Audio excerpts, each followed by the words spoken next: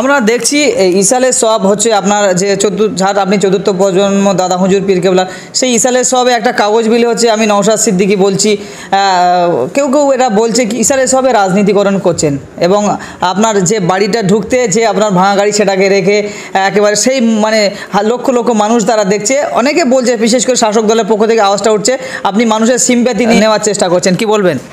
দেখুন যদি আমি সত্যতা জানিনি, কেউ বলছিল বাইরে প্লাস্টার নাকি মিথ্যা ছিল।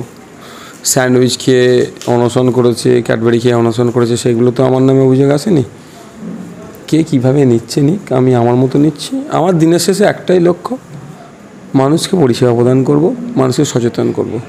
এটা ওয়ান অফ দ্য পার্ট সচেতন করার। আমি তো ওখানে আমার দলের ঝান্ডা লাগিয়ে বা দলের নাম দিয়ে কোনো হ্যান্ডবিল থেকে শুরু করে কোনো গাড়িতে যে বড় বড় গেট লাগিয়ে ইন্ডিয়ান সেকুলার ফান্ড থেকে শুরু করে আগত মেহমানদেরকে পার্টির পক্ষ থেকে শুভেচ্ছা, এই ধরনের আমার কোনো কিছু দেখতে পেয়েছেন এখানে? আমরা এই রাজনীতিকরণ এই জলসার এখন রাজনীতি করতে চাইনি?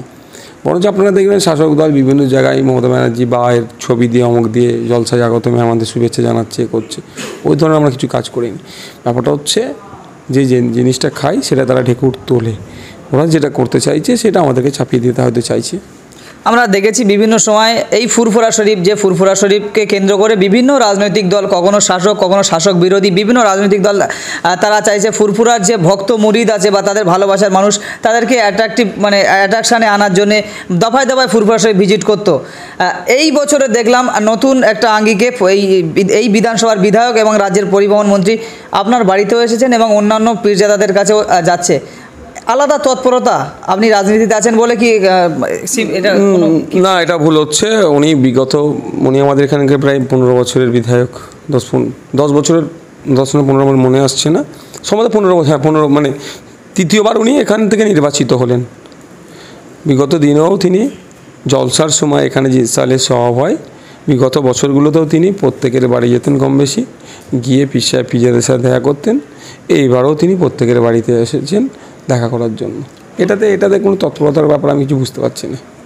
ফুরফুরা শরীফের উন্নয়ন পরিষদের নতুন চেয়ারম্যান নিযুক্ত হলেন। কি মনে হচ্ছে ডেভেলপমেন্ট হবে মানুষের সুরাহা?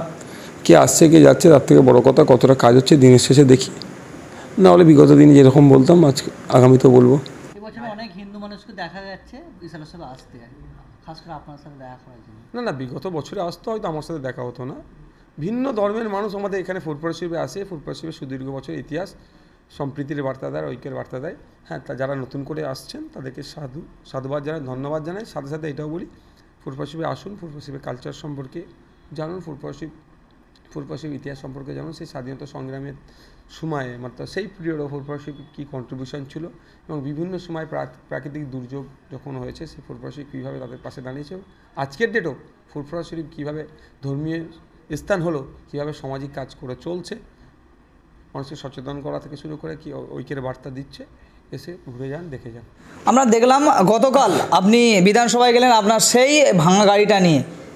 কি বলবেন এটা নিয়ে এটা কেন যাওয়ার কারণটা কি? আমার সেই ভাঙা গাড়ি মানে বুঝিয়ে দিচ্ছি এই আমার গাড়িটাকে তৃণমূল কংগ্রেসের আশ্রিত দুষ্কৃতী সহ নেতারা আরাবুল ইসলাম সাহেবের নেতৃত্বে যে হামলা চালিয়েছে সেই গাড়িটা নিয়ে গেছিলাম ওটাই একাধিক কারণ হচ্ছে একটা কথাই বলি রাজ্যের বিধানসভাতে নিয়ে যাওয়ার অন্যতম প্রধান কারণ হচ্ছে দেখুক স্পিকার স্যার থেকে শুরু করে সিএম থেকে শুরু করে লিডার অফ দি অপোজিশন থেকে শুরু করে বা- বাকি এমএলএসরা দেখুক রিপোর্টার্সরা দেখুক এবং ওখানকার খবরটা সারা রাজ্যে ছড়িয়ে পড়ুক যে একজন জনপ্রতিনিধির ওপরে কী ধরনের প্রাণঘাতী হামলা চালিয়েছিল।